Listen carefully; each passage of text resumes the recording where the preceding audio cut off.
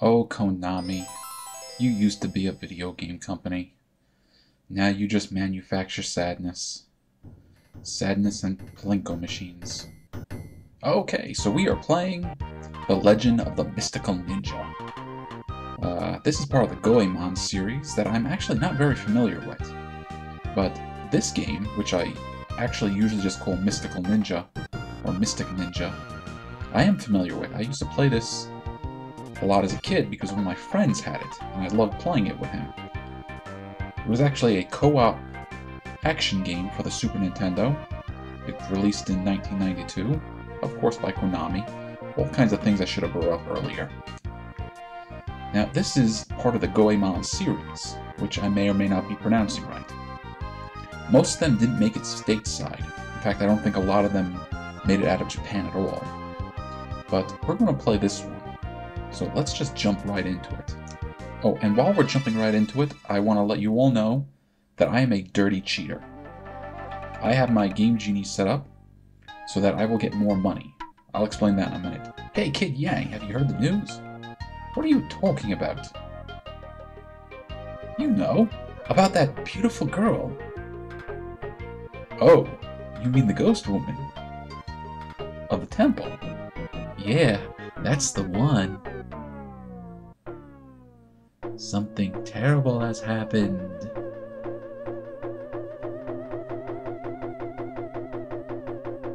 Oh no. Hey, no close-ups. That's no way for a good ghost to act. She shouldn't hurt people. That ghost has some nerve. I'll show her that I'm a brave man. Talk is cheap. Let's go. I'm with you, Dr. Yang. Alright, so in this game, we have our heroes Kid Ying and Dr. Yang. Mystical Ghost, Warlock Zone 1. And that's going to be each one of our stages. Alright, so time to jump into it. Now, like most platformer games, you just walk around and you attack your enemies. And you can see that some of these enemies are dropping gold coins. Normally, they would drop 10 of them.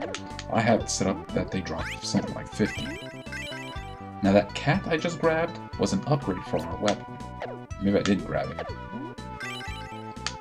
But our weapons can be upgraded three times, each time getting a little bit longer. I don't know offhand if they get any more powerful. That's not an enemy. That's a lady. We want to save the because they are worth money to save. And this dude drops fish. We have to actually beat the fish.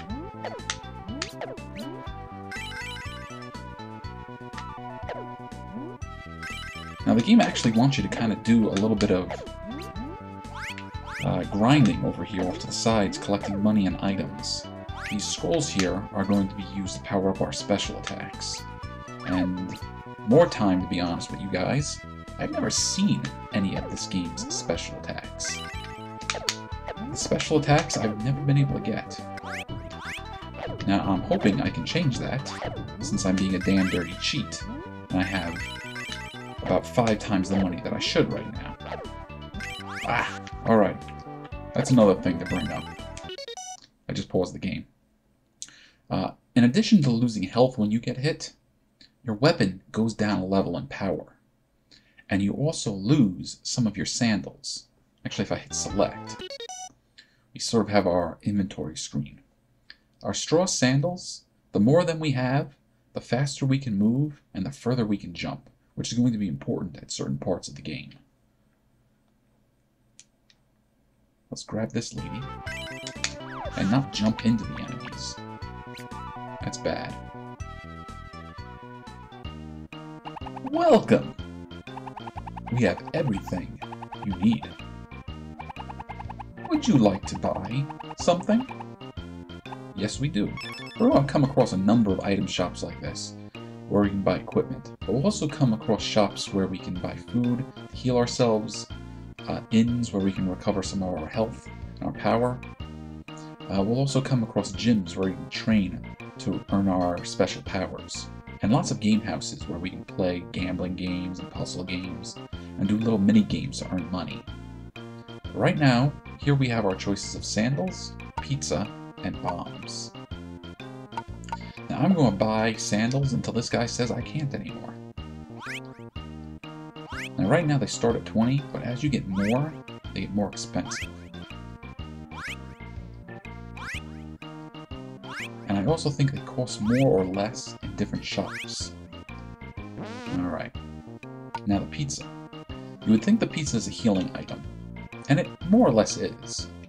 But what happens with a pizza is when you run out of life, instead of dying, you'll come back, uh, you'll heal an amount of life depending on the item you have. In the case of pizza, I think it's something like four, four blocks of health. And the bombs, well, the bombs are a secondary weapon, and I'll show you some of those secondary weapons in a minute. Gotta be careful not to keep jumping at the enemies. Now, if you hit your L and R buttons, you'll cycle through your weapons. Well, just your R button, I guess. I just threw a bomb. Bombs are kind of ranged weapons. I really don't use them that much because they're expensive. But you see here, we can also throw our money. And I think it costs something like four four dollars, four N each time you throw. But since we are damn dirty cheats, this is not going to be much of a problem. Alright, let's look at some of these other houses real quick. The Ghost Woman of Horo Temple is very strong. There must be a way to beat her. Well, there is a way. I happen to know it, but we'll wait until we actually get there.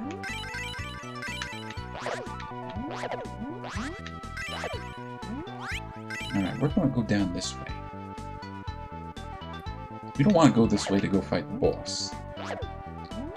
But since we've got time, if you look up there, we got a timer counting down from 830. We're going to explore this place a little bit because, you know, I like to show off as much of these games as possible for those of you watching. Alright, this is the fortune house. I'm a fortune teller. I'll tell you, you are hero of this story, aren't you? You will do a good job throughout your long journey. Alright. Right now, we can't get our fortunes really told. When we come back later, he'll tell us our fortune, and either something good will happen, or something bad will happen, or nothing at all will happen. We are not open yet. Please come later. Alright, this is the gambling house. We'll check that out in a little while. Now, because I have enough sandals, I can jump over these obstacles.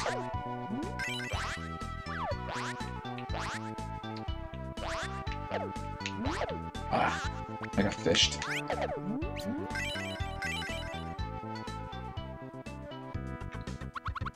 We will open soon. Just a moment. No, it's gonna be more than a moment before you guys are ready. Oh, and since I got fished, I lost a sandal.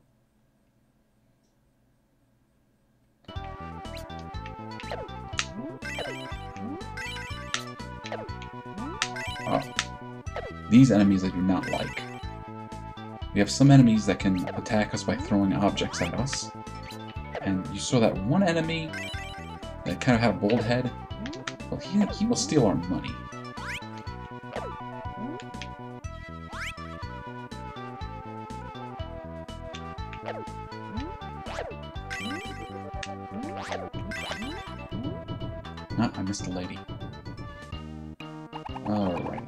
Are going to grab some more sandals.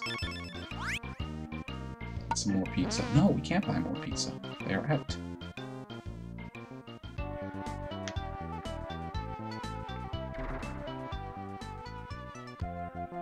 Hey, Kid Ying! Did you know that there's a ghost In Horo Temple? Yeah, yeah, we did actually. This over here should be our house. This is your house.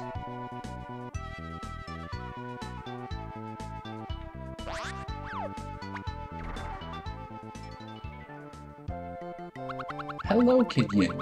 How are you? No, she doesn't have much to say.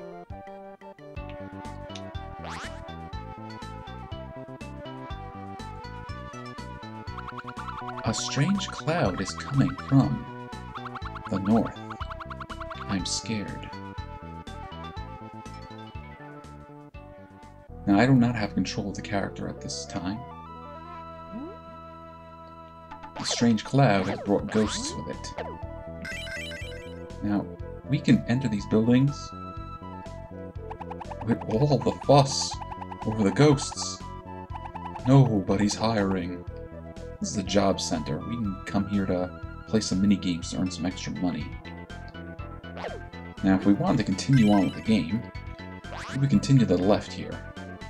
But if we go back the way we came, even this, these places have been ghost. But I don't know if you want to count this as a as a pro tip or not. If you come down here, you see these three hair hairballs? They're always here. So you can farm them for money and items pretty easily. Because of all the ghosts, nobody's playing. If this keeps up, will it be out of business? Alright, I'm not going to revisit every place just to hear what they have to say because of the ghosts. But I figured I'd show off those little Karibos.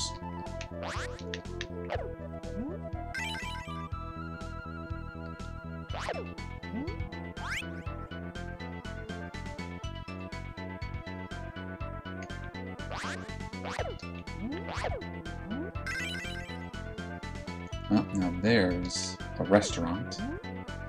It'd be nice if we can get in there. Over here is the Horo Temple. Now the game is going to uh, change. It's going to be more of a traditional 2D platformer. And here's our raccoon dog buddy, or a tanuki. This is dangerous territory. Be careful. Proceed caution. I think they call these the action sequences. And we're going to run from left to right, fighting with enemies. Just like the enemies outside, they'll drop items for us. In this case, they're dropping money.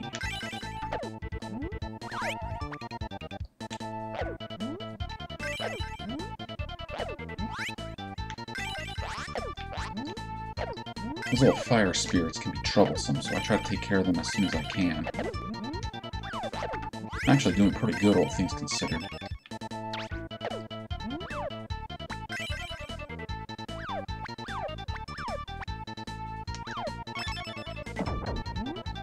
Didn't want to use that bomb, but hey. And you see the enemies respawn pretty quick. Uh-oh, we're surrounded. What are we gonna do? Let's ring the bell. Yeah, that destroys them all.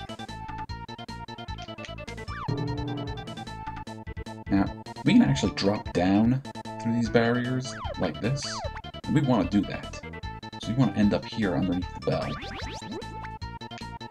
So we can knock that monument aside.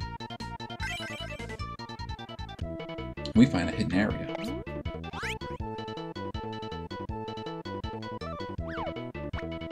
These hidden areas, these bonus areas, are usually full of really useful items. But you're not always going to be able to get them unless your sandals are powered up. Now what I just grabbed there was a golden cat. Golden cat will heal you a lot. It heals you full. And now more yokais are raining down on us. Silly looking umbrella monsters.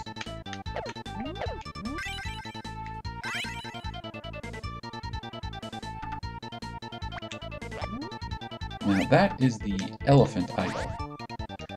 Uh, if I was to die, we would either start this action sequence over, from the Tanuki, the raccoon dog. Or we could restart it from here, where I picked up the elephant idol. But doing that uses up the elephant idol. Oh, almost got me.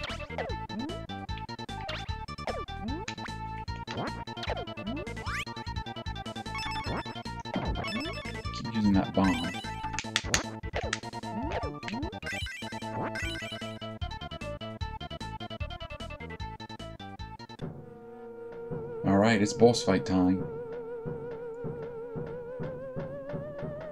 Now, here comes the ghost woman. Kinda cute, isn't she? She's gonna attack us by throwing these dishes at us.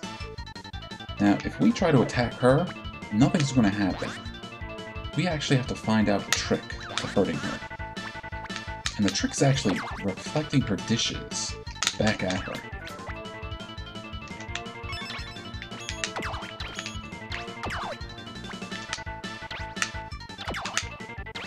Remember how many we have to hit her with. Five?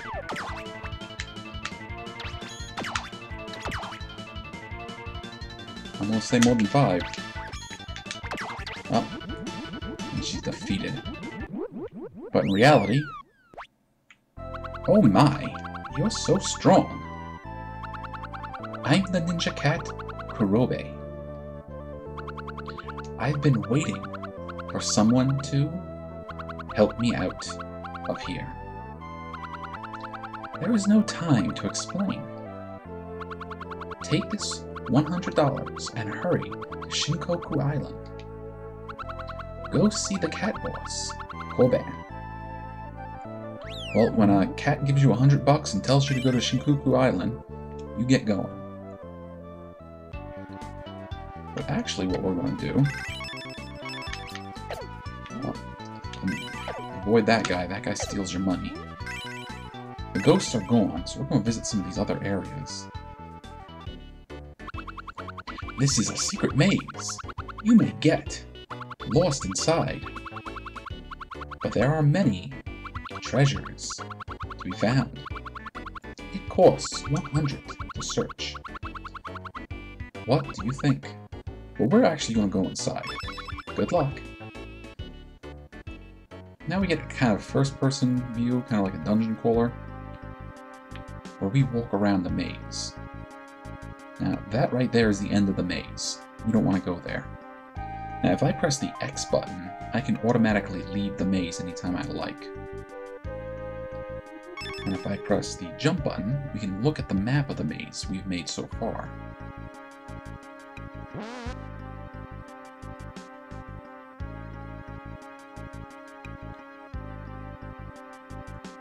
Most of these mazes aren't too difficult, and you can find lots of useful items in them. You can also find money in them. Alright, now we have the full map, which will help us get around. So far I've picked up a few bombs and I've picked up a map.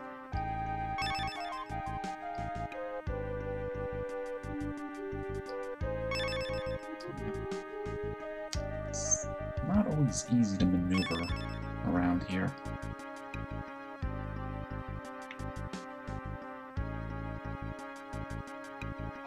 Alright, we just picked up a treasure chest, which I think is full of money. We can use that money to recover the costs of coming in here.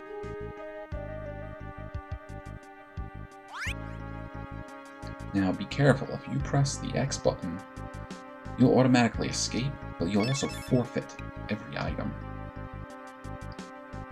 No, I'm going the wrong way.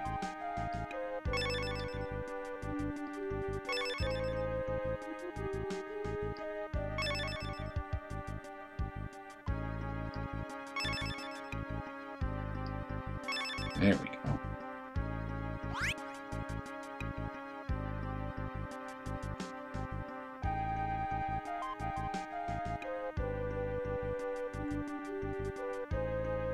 Congratulations! You can keep whatever you found. Thank you. Come back again. Well, we may try this in other stages, But we're not coming back to that one anytime soon. Almost got me. Okay, now here's the restaurant. Welcome! Everything is delicious. Here. Would you like something to eat? Yes, we would. Now, I only know what these are by kind of guessing at them. Some sort of bowl of super noodles, some steak on a stick, and some sushi. And the more expensive one you buy, the more healing you get.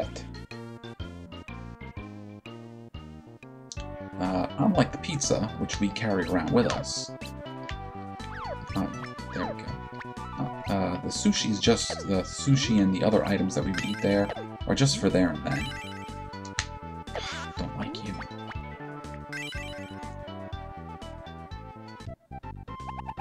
Do you want to play any games? Sure. Which game do you want to play? Well, we're going to start from the bottom and work our way up. First is the Goblin game. When there's a vase on the head, push the B button to throw the ball in the vase. Keep the button pressed to throw the ball further. Aim carefully. Now, I've always had trouble with this one.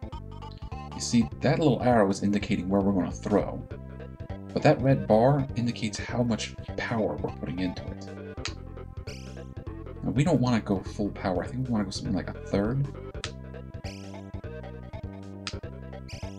But we also want to aim that it hits the VODs. I usually don't bother with this game, to be honest with you.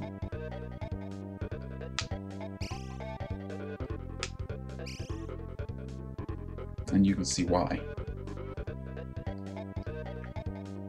We made no money on that whatsoever. How did you do? Did you make a lot of money? Try again. Sometime. Well, now we have to leave. But we can just turn around go back in. And play another game. Do you want to play any games? Yes. Now we're going to play, actually, probably my favorite. Paint. Paint is simple, and it's an easy way to earn money. The game here is painting. The more you paint, the higher the bonus. But if you paint inside the lines, or if you lay the paint on too thick, you're fired. Do your best. Now what is it like? This is kind of like Snake or Centipede. Not Centipede, definitely Snake. Where you're just making a line behind you as you move along. And I can change my directions by pressing left, right, up, down, and so forth. Over time, we're going to start building up more and more speed. We don't want to hit those two blocks in the middle. And the more area we can cover, the better our bonus will be. So I just made 150 off that. Well, 152. How did you do? Alright, so we're just going to take one last look at that last game, and then we're going to get on. This is Mole. And Mole is Whack-A-Mole. Press the corresponding buttons on your control pad. Keep hitting. The slow course is easy, but you can get twice the score in the faster course. Select course and then start. Well, we're going to go with the slow course. Up. That was Dr. Uh, Yang. We don't want to hit him.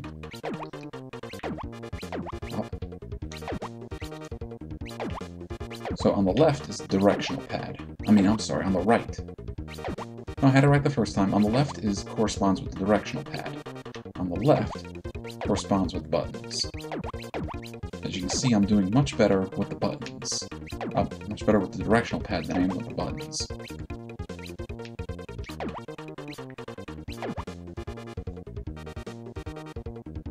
Alright, so we only made 30. Oh, we do want to hit Dr.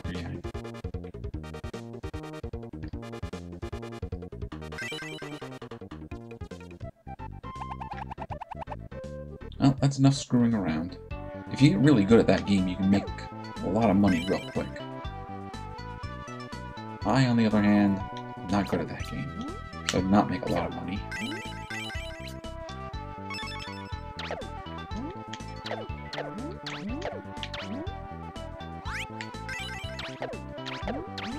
Get the cat.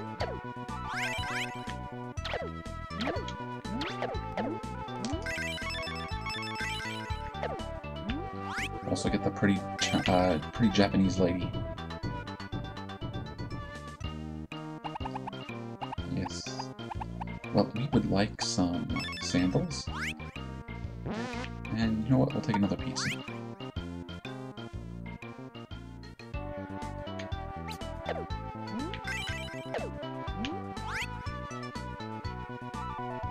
Now, the stores over this way are open. So we'll just quickly poke our head in them. Ah, you've come at the right time. Today's special price is 20. Would you like your fortune told? Sure. Yes, yes, so you want me to tell your fortune. If that's what you want, that's what you'll get.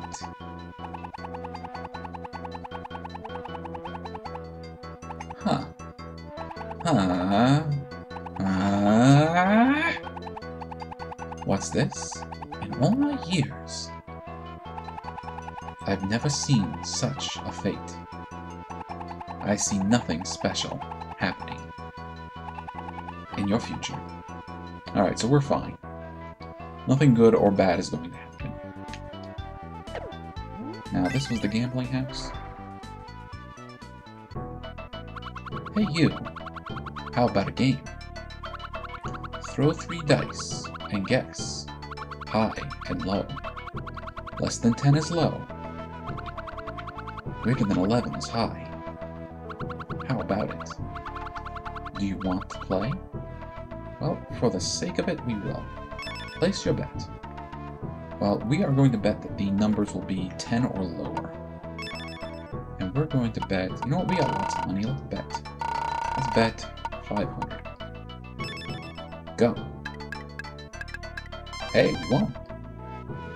Alright, we got a thousand for it. No, let's not try another.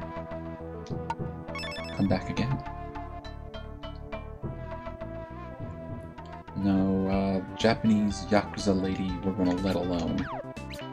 We're gonna go to our travel agency over here and book fare. Get away from that guy throwing cans at us. Welcome! This is Oedo Travel Agency. Today's special is a tour to Shinkoku Island. Would you like to go? Well, that's lucky, isn't it? That's exactly where we want to go. Alright, we have our choices. Pack A, B, or C. And of course, they each cost a different amount. The cat gave us 100 and told us to go, so we could take Pack B. The the benefits from choosing these different packs are you'll get a different animation going to Shin, was it Shinkoku Island, and the more valuable the pack you choose, the more healing you'll get as you go on to the next area. So we got plenty of money. Let's go with Pack C. Thanks for choosing Package C. 200, please. Your life energy is increased by 6. Shizuka will be your tour guide. Alright, so this is our ending scene. This is what we get from going from one uh, zone to the next. And Dr. Yang is floating on a kite looking all Mario Brothers-ish. And now he's covered in soot. When something's wrong in Edo, action must be taken. Kid Ying and Dr. Yang leave for Shinkoku Island to meet Kobin, the cat boss. So that's the end of this.